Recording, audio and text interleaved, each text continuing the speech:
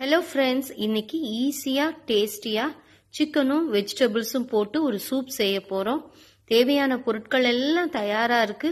வாங்க கிச்சன் போகலாம் எப்படி செய்யறதுன்னு பார்ப்போம்.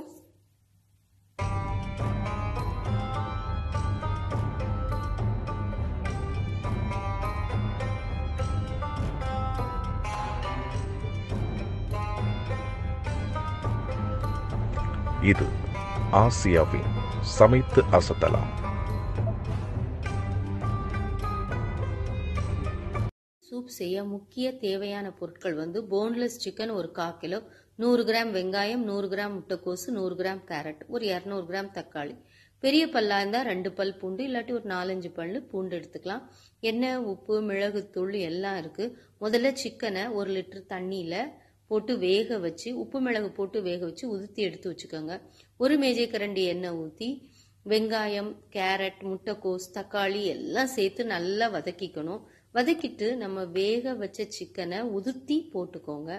அப்புறம் தேவைக்கு கொஞ்சம் உப்பு மிளகு போட்டிங்கன்னா அந்த சிக்கனில் நல்ல உப்பு மிளகு பிடிச்சி சாப்பிட்றதுக்கு நல்லாயிருக்கும் இப்போ கொஞ்சமாக பெரி பெரி சாஸ் கொஞ்சம் விடுறேன். உங்களுக்கு பிரியமானா விடுங்க. உங்கள்கிட்ட இருந்தால் எனி சாஸ் ஹாட் சாஸோ பெரி பெரி சாஸோ விற்றுக்கலாம் இப்போ நான் வேக வச்ச அந்த சிக்கன் வேக வச்ச தண்ணி சிக்கன் ஸ்டாக்கை நான் சேர்க்குறேன். ஒரு லிட்டர் அளவு தண்ணி. அந்த அது வந்து கொதிச்சிட்டு இருக்கட்டும். இப்போ அதுக்கு திக்னஸ்க்காக ரெண்டு மேஜை கரண்டி கார்ன்ஃப்ளோர் அப்புறம் சுவைக்காக ஒரு டீஸ்பூன் சோயா சாஸ் ஒரு டீஸ்பூன் வினிகர் சேர்க்குறேன். இந்த வினிகரும் சோயா சாஸும் சேர்க்கும்போது சூப் நல்லா ருசியாக இருக்கும்.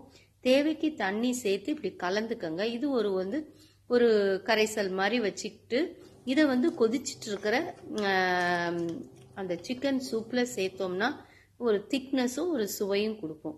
உங்களுக்கு நல்லா திக்காக வேணும்னா நீங்கள் ஓட்ஸ் கூட ஒரு ரெண்டு மேஜை கரண்டி பொடிச்சு இதோடு சேர்த்துக்கலாம். நான் ஓட்ஸ் சேர்க்கல. கார்ன்ஃப்ளவர் மட்டும்தான் சேர்த்தேன். ஸோ இதுவே ஃபில்லிங்காக இருக்கும். ஏன்னா கேரட்டு தக்காளி முட்டைக்கோசு சிக்கன் எல்லாம் சேர்ந்துருக்கு. ஸோ இது வந்து ஒரு முழு நேர உணவு மாதிரி நீங்கள் சாப்பிட்லாம். இது ஒரு மூணு டு நாலு பேருக்கு இந்த சிக்கன் இந்த அளவு போட்டிங்கன்னா காய்கறிகளும் போட்டிங்கன்னா கரெக்டாக இருக்கும். இதே மாதிரி செய்து பாருங்கள் உங்களுக்கு பிடிச்சிருந்தா லைக் பண்ணுங்கள் ஷேர் பண்ணுங்கள் கமெண்ட் பண்ணுங்கள் சப்ஸ்கிரைப் பண்ணுங்கள் இதுவரை என் சேனலை சப்ஸ்கிரைப் பண்ணலன்னா சப்ஸ்கிரைப் பண்ணுங்கள் ஃப்ரெண்ட்ஸ் தேங்க்ஸ் ஃபார் வாட்சிங் மிக்க நன்றி.